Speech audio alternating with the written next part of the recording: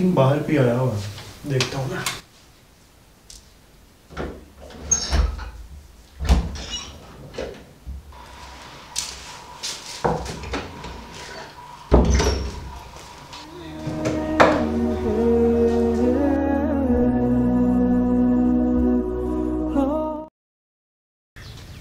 ओ यार।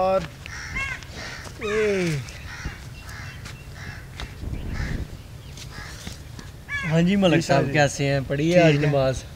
नमाज़ तो नहीं पढ़ सका यार टाइम हो गया उसका। टाइम करीब तो है मेरे पास। काफ़ी ऊपर हो गया।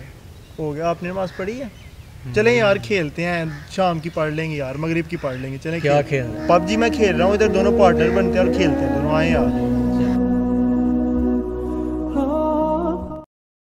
टाइम क्या हुआ यार? भला बारह बजने वाले हैं। टाइम का पता ही नहीं लगा यार। सुबह मुझे छह बजे उठना है यार। यूनिवर्सिटी के लिए निकलना है यार। आज भी लेट हो गया था। अभी सोता हूँ। सुबह फिर जल्दी उठना है।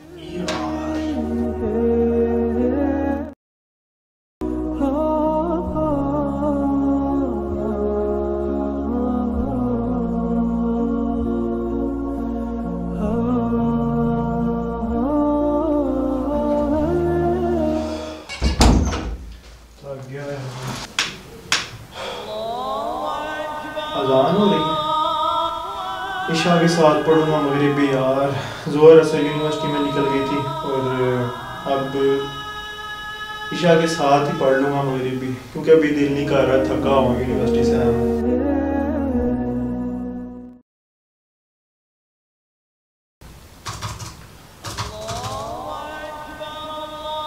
आया हो रही।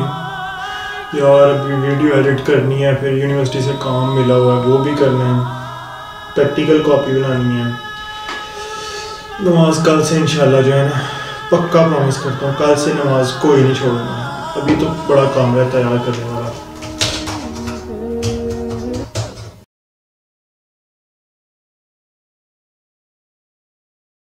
कमाल की सिनेमाटोग्राफी है यार। अच्छी वीडियो एडिट की हुई है इसमें।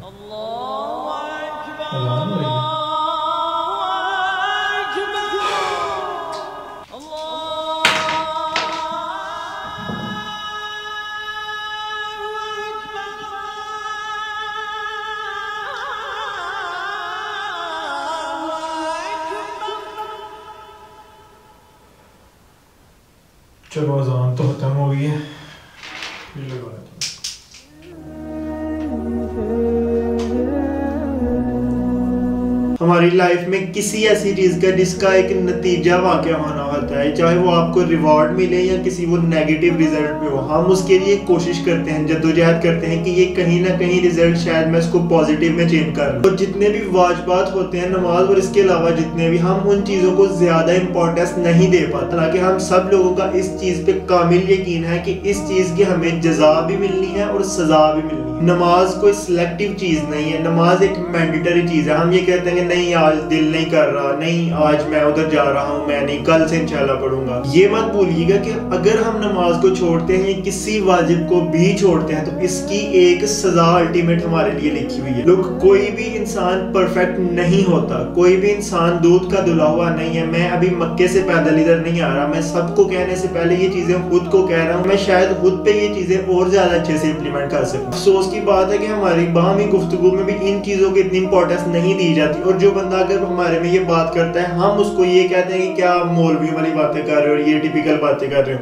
हमें कोशिश ये करनी चाहिए कि हम अपने वाजबात को पूरा रखें और पिछले दिन से अपने आज वाले दिन को जितना बेहतर कर सकते हैं, उतना बेहतर करें। मैं कल रात से इस वीडियो को शूट करने में एडिट करने में और स्क्रिप्ट को सीक्वेंस देने में लगा हूँ, लेकिन फिर भी अगर आप सपोर्ट नहीं करते तो फिर बहुत बुरा लगता लेकिन आप जब सपोर्ट करते हैं तो लिटरली ऐसा होता है कि बहुत ज़्यादा इंकरेजमेंट मिलती है। आप सब्सक्राइब करते हैं और जब कमेंट करते हैं उम्मीद है आपको आज की छोटी सी डॉक्यूमेंट्री पसंद आई होगी। अगर आप और भी ऐसी वीडियोस देखना चाहते हैं तो कमेंट में बता सकते हैं। Will see the next video till then take good care of yourself